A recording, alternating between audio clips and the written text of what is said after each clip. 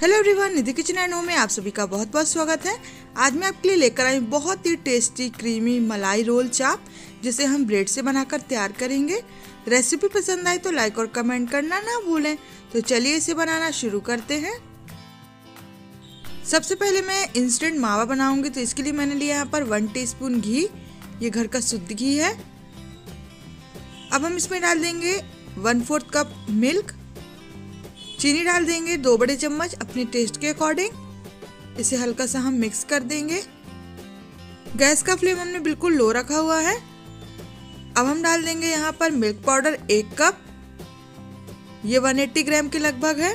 इसे अच्छी तरह से मिक्स कर देना है। गैस का फ्लेम हमें लो ही रखना है और अब हम इसको अच्छी तरह से मिक्स करते हुए ये हमारा इंस्टेंट मावा बनकर तैयार हो जाएगा। तो यदि आपके पास मावा ना हो तो आप इस तरह से इंस्टेंट मावा बनाकर तैयार कर सकते हैं। और यदि आपके पास मावा हो तो फिर आपको ये सब करने की आवश्यकता नहीं पड़ेगी। तो ये देखिए, अपने आप ही ये क्रीमी टेक्सचर का हो रहा है और एकदम थिक हो रहा है।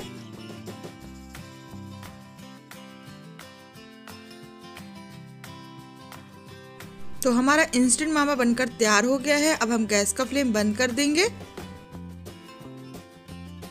तो यहाँ पर मैं केवल मावे की फीलिंग रख रही हूँ।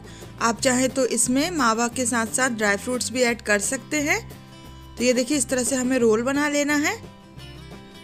सभी रोल हम इसी तरह से बना लेंगे। अब रोल हम बनाएँगे ब्रेड का। तो यहाँ पर मैंने सैंडविच वाली ब्रेड ली है, जिसमें ऑलरेडी ही जो कॉर्नर होते हैं, वो निकले हुए होते हैं। अगर आपके पास प्लेन ब्रेड हो, जो नॉर्मल ब्रेड आती हैं तो आप उसके कॉर्नर हटा लें। और इसे एक बिल्कुल पतली सीट में हमें बना लेना है। ब्रेड बहुत ज़्यादा हमें बासी नहीं लेनी है, थोड़ी फ्रेश लें, नहीं तो ये टूटेगी फिर। तो ये देखिए, हमारी थोड़ी बड़े साइज़ की ब्रेड है तो हम इसे बीच से थोड़ा कट कर लेंगे। तो अच्छी तरह से हमने इसे बेल दिया है, बिना पानी लगाए। अब बीच से हम कट कर लेते हैं, जिससे हमारे छोटे छोटे इक्वल रोल बने। ये देखिए, इस तरह से सीट तैयार है हमारी। अब हम इसमें रोल लगा देते हैं।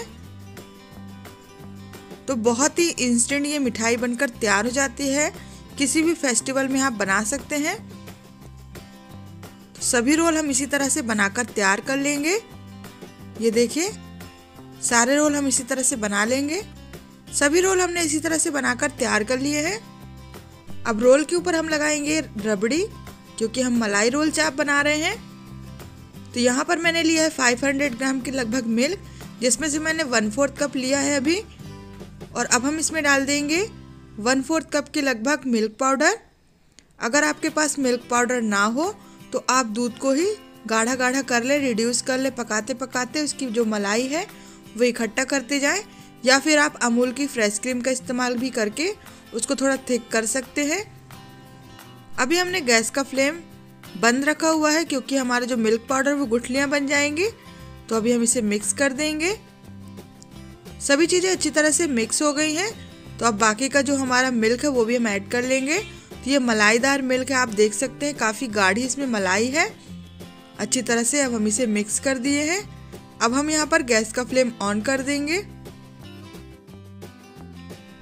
इसको मिठास देने के लिए मैं यहाँ पर कंडेंस मिल्क डाल रही हूँ वन फोर्थ कप आप चाहें तो नॉर्मल पिसी हुई चीनी का इस्तेमाल या फिर होल चीनी का इस्तेमाल भी कर सकते हैं।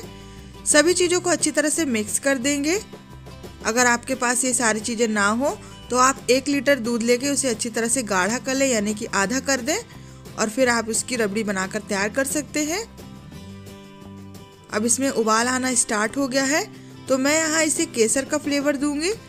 तो कुछ धागे में इसमें भी डालूँगी, और कुछ हम केसर वाला दूध बनाएँगे, जिसे हम ऊपर से डालेंगे सर्व करते समय। इसे अब हम बहुत ही अच्छी तरह से मिक्स होने देते हैं। आप चाहें तो फ़ूड कलर का इस्तेमाल भी कर सकते हैं। तो इसमें उबाल आना स्टार्ट हो गया है। काफ़ी थिक होने लगा है, क्योंकि हमने यहाँ पर मिल्क पाउडर का इस्तेमाल किया था।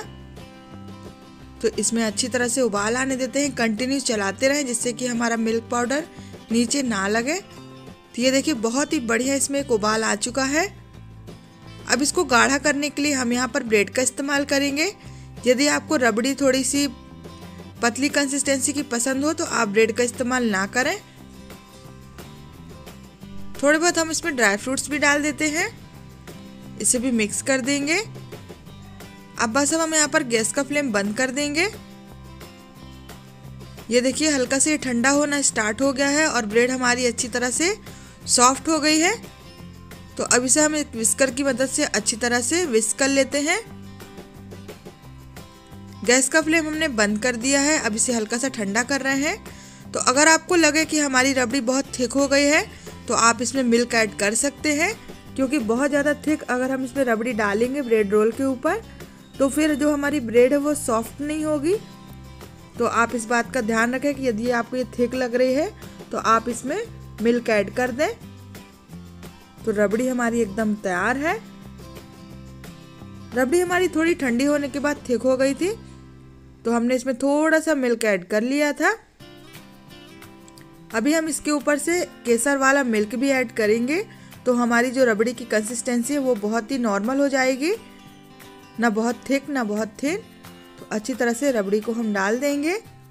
तो आप देख सकते हैं, घर में रखे हुए थोड़े बहुत इंग्रेडिएंट से ही बहुत ही अच्छी रेसिपीज़ हम बना सकते हैं।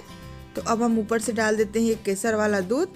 गुनगुने दूध में केसर के कुछ धागे डाल दिए थे मैंने। और हल्का सा एक, बिल्कुल एक बूंद हमने इसमें कलर ऐड किया है। कुछ केसर के धागे डाल देंगे, देखने में जिससे और भी सुंदर लगे। और आप इसे ठंडा ठंडा सर्व करें, होली हो या फिर कोई भी फेस्टिवल सभी में ये बहुत पसंद करेंगे सभी। ऊपर से हमने चेरी भी लगा दी है। तो लीजिए बनकर तैयार है हमारे बहुत ही टेस्टी ब्रेड के मलाई रोल चाप। आप इन्हें घर पर ज़रूर ट्राई कीजिएगा। रेसिपी पसंद आई हो तो लाइक से सब्सक्राइब करना ना भूलें। फ्रेंड्स और फैमिली में भी शेयर करें। मैं मिलती हूँ नेक्स्ट वीडियो में। Thank you thanks for watching bell icon press करना ना भूलें।